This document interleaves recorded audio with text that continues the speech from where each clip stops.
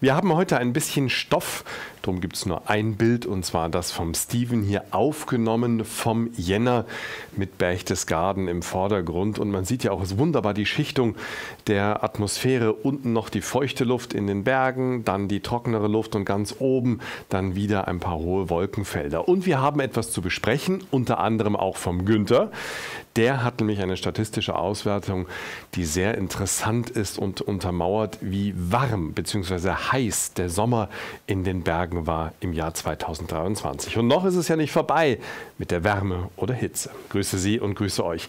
Da ist ja immer noch diese Luftmassengrenze, die begleitet uns nicht nur durchs Wochenende, sondern auch durch die nächste Woche. Und das ist der direkte Modellvergleich vom europäischen ECMWF-Modell und vom amerikanischen GFS-Modell, jeweils um 17 Uhr der Luftmassentemperatur in 1500 Meter Höhe am Samstag.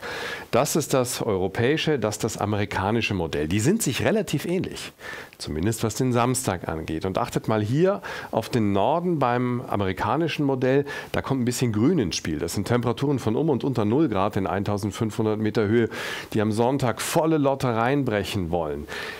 Hier beim europäischen ziehen die östlich an uns vorbei und beim amerikanischen Modell erreicht die 0 Grad Isotherme die Elbe und die Warmluft wird weit rausgedrängt. Und wenn wir da mal direkt reinschauen in den aktuellen Modelloutput, also Modelloutput bedeutet, der Computer rechnet da rum und sagt, ah, 22 Grad.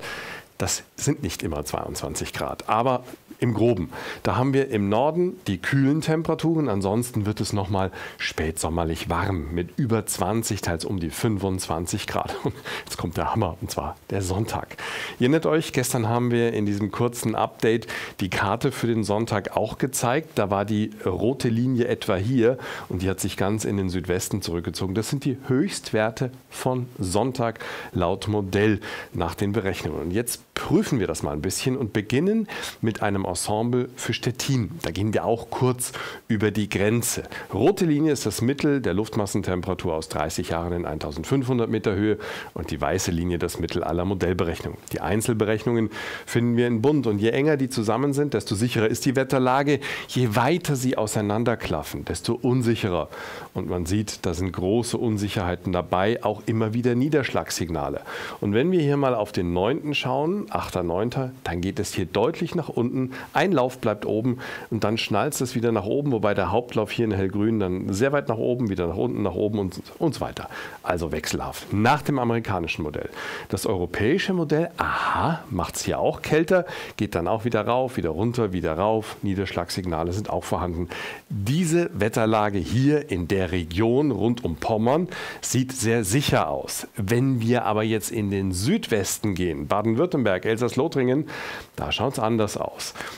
Da haben wir die Linie, die weit überdurchschnittlich ist und überdurchschnittlich bleibt. Hier der grüne, der Hauptlauf bleibt da oben. Es brechen aber einige nach unten aus. Das Beispiel hier für Müllheim. Und hinten raus geht es dann weiter runter Richtung Mittel. Die Niederschlagssignale nehmen ab dem 12. Oktober zu. Und das europäische ECMWF-Modell macht es im Prinzip genauso. Wir gehen nochmal auf das amerikanische Modell zurück und schauen uns mal die Differenz an. Der Hauptlauf liegt hier im obersten Bereich. Und da sind aber die kältesten Läufe dabei, die 13 Grad niedriger noch liegen. Das bedeutet, im Nordosten ist die kühle Luft relativ sicher, aber die Wärme ist im Südwesten nicht so sicher wie die kühlere Luft im Nordosten. Es gibt also immer noch ein paar Fragezeichen dran. Schauen wir auf die Niederschläge vom europäischen ECMWF-Modell. Da wird der Norden nass in den nächsten zehn Tagen, der Süden weniger. Beim amerikanischen Modell ist es eher der Nordwesten und der Norden. Und dann noch mal ein paar Tage drauf, da wären wir beim 20. Oktober, also der letzte Tag der zweiten Oktoberdekade, würde insgesamt nasser ausfallen, vor allen Dingen auf der Alpen-Südseite. Wenn wir schon mal dabei sind, wir sprechen mal die ersten drei Oktobertage an. Im Vergleich zu sonstigen drei Oktobertagen, also drei von 31, sind wir bei 4,75 Grad im Plus. Das höchste Plus haben wir im Nordosten, es wird in den nächsten Tagen hier deutlich abgebaut. Das niedrigste erstaunlicherweise im Südwesten. Wenn wir das jetzt auf den Gesamtmonat beziehen, also wäre der Monat theoretisch zu Ende, dann wäre das ein Plus von rund 7,2 Grad. Da gibt es welche, die würden mit ihren weißen Schüchen im Dreieck vor Freude springen, wenn sie das sehen würden. Das wird natürlich am Ende nicht so sein. Gestern gab es noch Sonnenschein im Süden. Fünf Sonnenstunden waren es deutschlandweit gemittelt. Die Tiefstwerte lagen bei 1 Grad auf der Alp, bei 14 Grad an der See und die Höchstwerte bei 12 Grad in den Mittelgebirgen und 21 Grad gab es einen Wert und zwar in Regensburg, der aufgerundet ist. Ansonsten war alles bei 20 Grad maximal. Das ist der Oktober, wie er weitergehen soll. Das Grüne haben wir hinter uns, das Bunte vor uns und da sollen dann irgendwie hier dann bis zum 19. zwischen 12,3 und 12,9 Grad rauskommen. Beim Hauptlauf wären wir sogar abseits des wärmsten Oktobers aller Zeiten, den wir, richtig, im letzten Jahr hatten mit 12,5 Grad waren. Ja, müssten 12,5 Grad gewesen sein. Die Wetterlage am Freitag, sprich in der kommenden Nacht. Da haben wir das Hoch hier liegen. Wir liegen ein bisschen noch an der Ostflanke des Hochs und da kommt relativ kühle Luft noch herangezogen. Und dieser große Wärmeberg wölbt sich zu uns. Gleichzeitig drückt es die Kaltluft nach Süden. Bedeutet, das Hoch zieht weg. Die Warmluft liegt hier. Die liegt auf der Lauer und scharrt mit den Hufen und will dann zu Wochenbeginn kommen. Es bildet sich aber an der Frontalzone. Das ist hier die 552er, steht für 5520 Meter Höhe. Das ist in 5 5,5 Kilometer Höhe gerundet. Die Trennlinie zwischen Tiefdruck in Grün und Hochdruck in Rot. Und da ist ein Knick drin. Da bildet sich ein kleines Randtief und das kann ein bisschen stunk machen. Bringt hier eine Welle rein, macht eine große Welle. Hier ist die kalte Luft, dann kommt die mildere Luft und dann kommt wieder die Kaltluft. Und die Welle zieht dann durch, die bringt nochmal Wind. Und dann wird es ein bisschen anders werden im Laufe der nächsten Woche. Wir kommen im Südosten wieder auf die Tiefvorderseite, im Nordwesten wird es kühler werden und vor allen Dingen sehr windig. Und jetzt gehen wir nochmal einen Zeitschritt weiter. Es ist nur der Hauptlauf mit entsprechenden Unsicherheiten, aber es würde dann langsam die kältere Luft zu uns kommen und sich über Westeuropa nach Süden austrogen. Wir kämen an eine Luftmassengrenze, die nass werden würde und im Westen deutlich kühler mit den möglichen ersten Schneefällen in höheren Lagen der Mittelgebirge, wenn das so kommt. Der Hitzeblock verschwindet nach Osten. Der heutige Tag beginnt mit einem Regengebiet im Norden und ein paar Nebelfeldern im Süden. Im Laufe des Tages wandert dieses Regengebiet leicht südwärts, schwächt sich dabei ab. Es bleiben noch einzelne Schauer übrig. Ansonsten zieht es zu. Hohe Wolkenfelder ziehen auf, da scheint die Sonne mal milchig matt, mal kräftiger, aber es ist nicht ganz lupenrein. Der Wind ist in der Mitte und im Süden ziemlich in der Mitte und im Norden.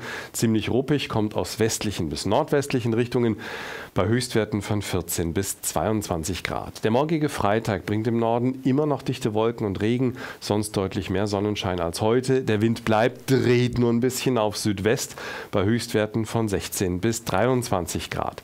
Am Samstag haben wir schon wieder Regen und zwar im Norden. Ihr erinnert euch, da kommt die Kaltfront herangezogen. Sonst ist es sonnig, vor allen Dingen im Südwesten. Der Wind frischt stark bis stürmisch auf.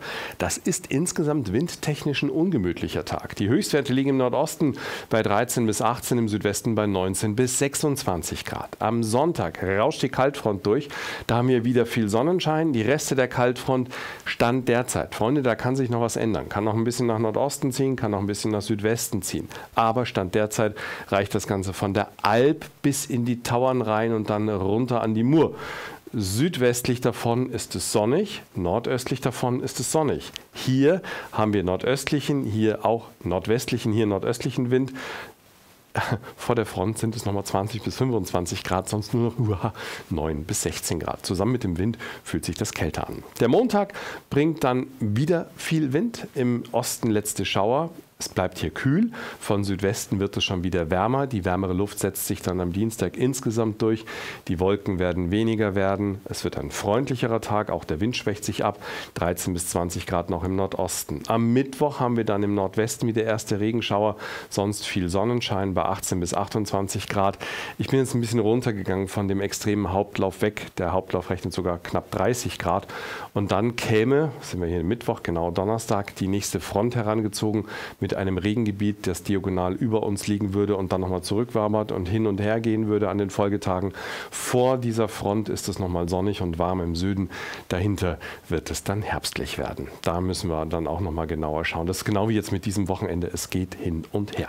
Schauen wir auf die Ensembles für den Norden. Viele bunte Linien hier. 5 Grad, 10, 15, 20, 25. Das ist jetzt im Norden erstmal so um die 15 Grad, geht dann nochmal rauf. Ein paar Läufe gehen sogar ganz weit rauf. Aber Im Schnitt sind wir dann nur noch im Mittel bei um die 15 Grad maximal. Entspricht auch der Jahreszeit. Die Niederschläge nehmen deutlich zu. Im Westen geht es nochmal rauf, völlig andere Luftmasse, über 20 an die 25 Grad. Hinten raus pendeln wir uns bei um und unter 15 Grad ein und es wird nass. In der Mitte genauso. Geht es nochmal rauf, dann später um und unter 15 Grad. Es wird auch nass. Da kommt der Herbst langsam in der zweiten Oktoberhälfte herangezogen. Hatten wir auch schon besprochen in dem einen Video, dass die zweite Oktoberhälfte deutlich herbstlicher und auch nasser werden wird. Im Osten genauso. Temperaturen von um und unter 20 Grad. Dann geht es nochmal rauf, später auf um und unter 15 Grad mit entsprechenden Niederschlagssignalen. Im Süden, da wird sich nochmal die Wärme durchsetzen. Wenn ihr die Möglichkeit habt, nutzt es nochmal aus. Ich sage das immer wieder und dann sagt ihr immer, der Sommer ist noch nicht zu Ende. Es geht nicht um den Sommer.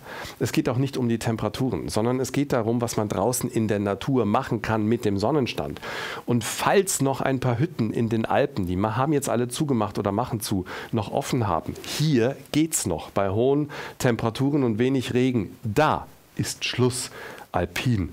Da ist bis 2000 Meter Höhe dann alles dicht, da kommt dann der Schnee hin.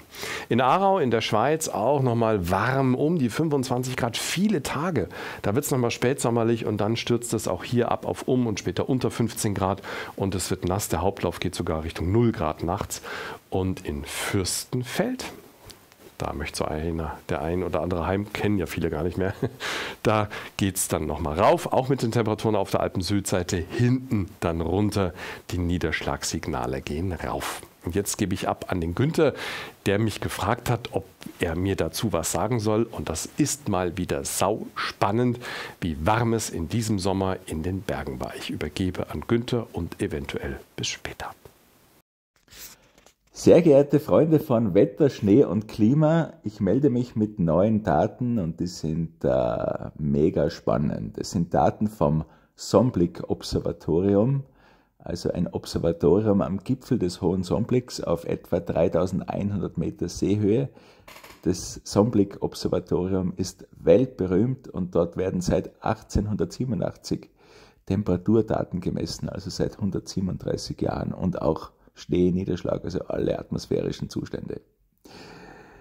Die Messung der Daten ist aber nicht immer gleich erfolgt. Und jetzt kommt schon das erste, der erste wichtige Punkt. Diese Datenreihe ist homogenisiert. Und zwar wurden die Messinstrumente von früher oder die Ergebnisse mit den Messinstrumenten von früher an die heutigen Messinstrumente angeglichen. Sonst kann man die Temperaturen überhaupt nicht vergleichen, weil Temperaturmessen eine schwierige Sache ist im Zeitraum von Jahrzehnten und Jahrhunderten. Und die ZAMG, der österreichische Wetterdienst, hat länderübergreifend mit europäischen Partnern den HIST-Alp-Datensatz kreiert und das ist einer der besten Klimadatensätze, die wir auf der ganzen Welt haben. Und hier sehen wir die alpine Vegetationsperiode Mai bis September. Oder auch der sogenannte Gletschersommer. In diesen fünf Monaten entscheidet sich für die Gletscher alles, in den sieben Wintermonaten fast nichts. Klingt komisch, ist aber so. Und jetzt schauen wir uns einmal die Extremwerte an. Die Gletschersommer 1912 und 1913 waren sehr kalt. 2 Grad Celsius kälter als das Mittel des 20. Jahrhunderts, was hier die Nulllinie darstellt. Und damals sind die Gletscher stark angewachsen, haben an Masse zugenommen und am Ende der, dieser Periode um 1920 sind die allermeisten Alpengletscher vorgestoßen. Rechts der Mitte in diesem Chart sehen wir die Periode in den 60er und 70er Jahren, wo die Gletschersommer zumindest kühl waren nachdem dazwischen eine deutliche Erwärmung war in den 40er Jahren. Und am Ende dieser kühlen Periode um 1980 sind immerhin noch zwei Drittel der Alpengletscher kurz vorgestoßen. Und seit Ende der 1970er Jahre sehen wir die Misere, seit Rudi Carell gesungen hat, wann wird's mal endlich wieder Sommer? Seither ist es Sommer geworden. Immer mehr, immer mehr. Und 2003 hatten wir den Jahrhundertsommer und der Sommer 2023 war genau gleich warm. Wir haben den Rekord vom Jahrhundertsommer eingestellt und die grüne Kurve ist das zehnjährig gleitende Mittel und auch dieses ist auf einem Allzeitrekord. Das heißt, der Gletschersommer 2023 war der wärmste ex eco mit 2003 seit mindestens 137 Jahren und vermutlich können wir Jahrhunderte zurückgehen, dass ein Sommer wärmer war. Vermutlich war der Sommer 1540 wärmer als der heurige Sommer 2023 am Sonnenblick oben. Aber das ist alles Spekulation am Chart, aber das sind Tatsachen. Danke, Servus.